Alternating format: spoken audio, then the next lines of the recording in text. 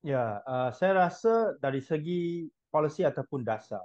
uh, memang perlunya ada continuity ataupun uh, pelanjutan dasar tak kira siapa uh, menjadi kerajaan. Uh, tetapi saya juga rasa bahawa kerajaan perlu ada uh, kelonggaran untuk membuat uh,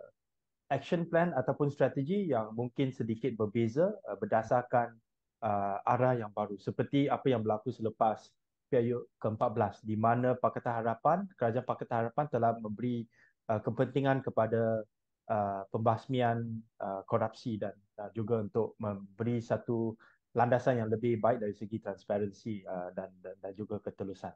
Uh, jadi memang perlu ada sedikit uh, uh, apa tu uh, kelonggaran dari segi implementasi polisi. Tetapi saya juga rasa uh, setiap kerajaan juga perlu ada falsafah yang konsisten ataupun filosofi yang konsisten tak kira bila uh, parti itu adalah dalam kerajaan ataupun di pembangkang. Saya beri satu contoh uh, di mana bila uh, di bawah Pakatan Harapan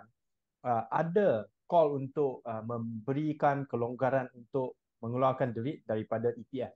uh, dari segi ICNA untuk kali ketiga kali keempat. Uh, tetapi apabila uh, ada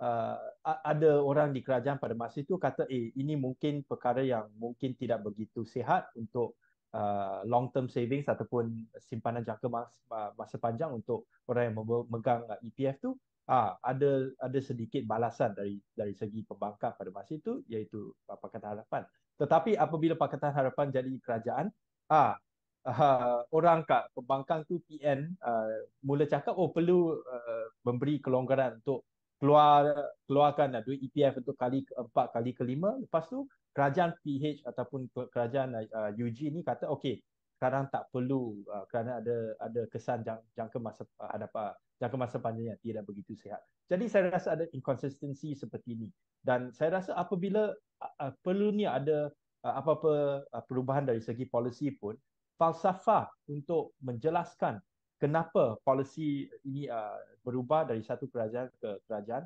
perlu uh, konsisten, konsisten dan perlu beri keyakinan uh, kepada uh, rakyat Malaysia dan juga uh, pelabur di negara kita.